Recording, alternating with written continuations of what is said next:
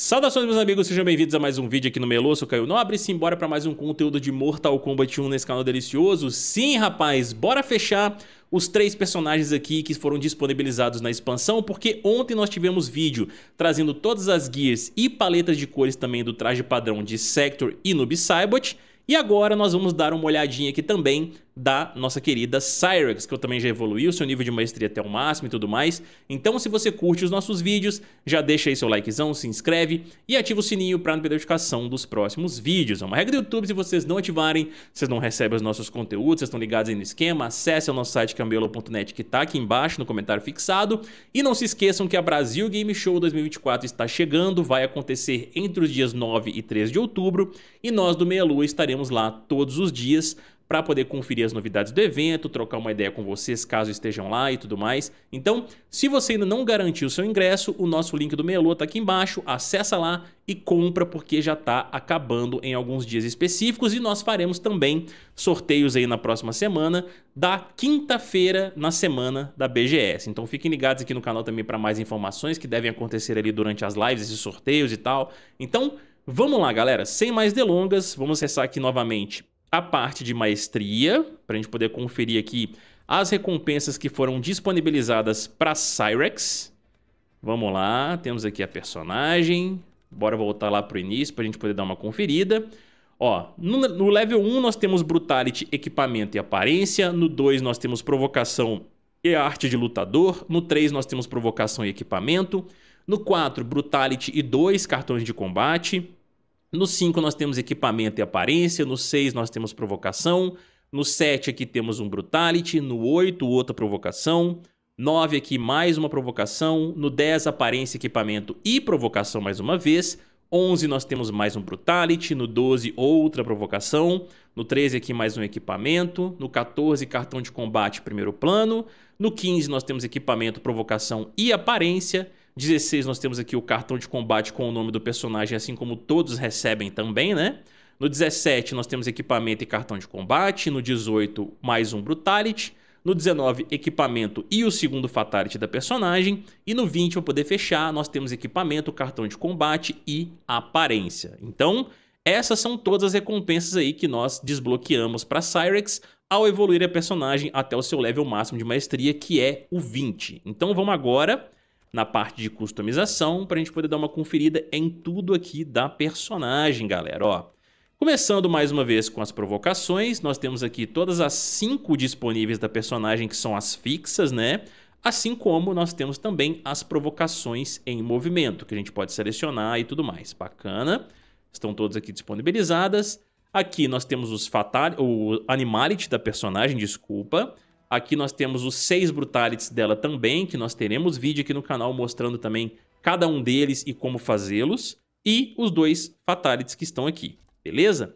Agora na parte de aparência, bora dar uma conferida na paleta de cores desse traje da Cyrex. Vamos lá, ó. Aqui a gente tem um amarelo padrão, junto com esse tom de preto ali no restante da armadura dela. Aqui a gente tem ah, uma predominância né, da cor preta ali e alguns tons apenas do amarelo. Eu achei bem legal essa cor aqui especificamente. E, inclusive, os olhos dela mudam de cor, ó. Aqui tá verde, ó, como vocês podem ver aqui, ó. Opa!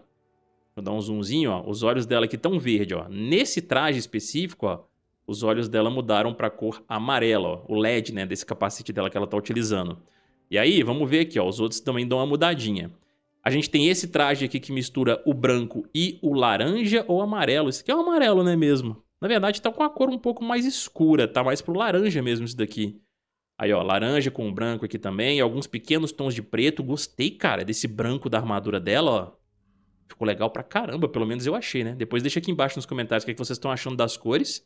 Aqui a gente tem alguns tons mais escuros e alguns pedaços só da armadura com tons amarelos. Os olhos dela ali mudaram para o verde, né? Mais uma vez, assim como ela tem a, na cor padrão aqui. A gente tem essa daqui também, ó, que mistura um pouco de azul, tem um amarelo ali também, junto com os tons escuros. Essa cor aqui, embora tenha achado legal, não curti tanto igual outras aqui que nós temos. E aí, para poder fechar as cores da personagem que a gente desbloqueia, né, nos seus níveis de maestria, nós temos essa daqui misturando o tom de roxo com amarelo e alguns tons escuros também. Então, essas são todas as cores que desbloqueamos para Cyrex. E nós temos também, ó, é sempre importante mencionar. Essa daqui que nós conseguimos no modo história, que é o traje dela do caos, assim como a gente viu na Sector ontem, né? E aqui na pele dela, ó, a gente pode ver algumas cicatrizes e tudo mais, indicando que ela é realmente do reino do Havik ali, né? Da linha do tempo dele. Então nós temos essa cor aqui disponível também, assim que a gente finaliza o modo história. Beleza, pessoal? Então, essas são todas as cores da personagem. Agora vamos dar uma conferidinha aqui nas gears, meus amigos. Ó, nós temos essa daqui que é a padrão da Cyrex, né? Bacana. Temos essa daqui também, ó, Guerreiro Atencioso, que me lembrou um pouquinho algum personagem de Star Wars, cara, essa máscara aqui. Novamente, se vocês perceberem referências de alguma coisa e tudo mais, deixa aqui embaixo nos comentários, assim como vocês fizeram no vídeo da Sector, porque tem algumas aqui que eu realmente não consigo pegar. Mas eu tenho certeza que algumas máscaras, cara, que eles colocaram para ela e para Sector, são referências sim de alguma obra, filme, alguma coisa assim. Até falaram do Homem-Formiga da Marvel ontem, né? Aí a gente tem essa daqui também, ó. Inclusive essa parte de trás do capacete dela aqui, dá uma mudadinha. Eu acho que tinha esse capacete aqui para Sector também, se eu bem me lembro. Depois a gente dá uma conferida aqui. Mas nós temos essa gear aqui para Cyrex, beleza. Esse daqui eu lembro que tinha para Sector também, né? Que é o capacete de samurai no traje e tal, ó. Bacana. Vamos aqui pro próximo. Obviamente que eles iriam colocar para os dois personagens, né? Para as duas no caso, o traje, a, o capacete clássico, né? Do Sector e do Cyrex do Mortal Kombat 3 aqui para as duas personagens. Então nós temos aqui também para Cyrex, para quem quiser colocar e tudo, tenho certeza que muita gente vai curtir e vai utilizar esse capacete também, porque é uma nostalgia muito grande, né? Eu pelo menos acho. Nós temos esse daqui também, ó, Viajante da Linha do Tempo, que aí é, só tampa basicamente o rosto dela aqui assim, né? E o resto aqui fica tudo descoberto mesmo, mostrando o cabelo dela e tudo mais. Bacana também essa máscara que eu curti. Essa daqui, cara, me lembra um jogo gratuito que a gente tem. Eu não lembro, acho que é Warframe, né, o nome do jogo. Me lembra um pouquinho, cara, o Warframe isso daqui. Esse capacete que ela tá utilizando. Embora não, não curta muito o design, né? Mas aí a gente tem esse aqui disponível. Esse daqui também, ó, bacana. Esse aqui eu curti, cara. Esse daqui eu curti, mostrando esse visorzinho aqui que lembra muito Dragon Ball também, ó ah, algumas partes aí desse capacete aqui passando pela parte de cima do cabelo dela e tudo, ó. Achei esse aqui bem legal mesmo, bem legal. Me lembra até um pouco Robocop também isso daqui. Show de bola.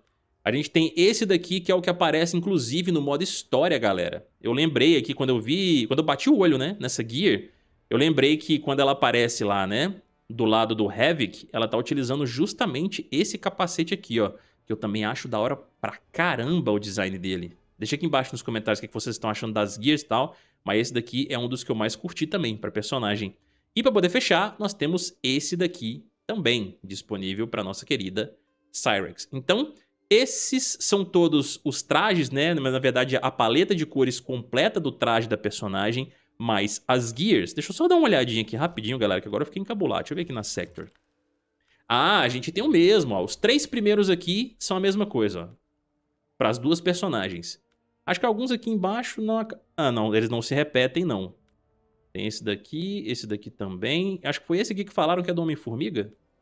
Ou foi esse daqui? Acho que foi esse aqui, né? Mas é isso, meus amigos. Então, esses são todos o, todas as gears da nossa querida Cyrex, assim como toda a paleta de cores do traje padrão dela. Espero que vocês tenham gostado. Deixa aqui embaixo agora nos comentários o que vocês estão achando da personagem também, né? Da personagem Cyrex, no caso. Se vocês estão jogando com ela, se estão curtindo e tudo mais. Eu vou dar a opinião de cada um de vocês e mais uma vez não se esqueçam do likezão, se inscrever no canal e ativar o sininho para não perder notificação dos próximos vídeos. Eu vou ficando por aqui, um beijão para todos vocês aí, até mais e fuemos, meus amigos.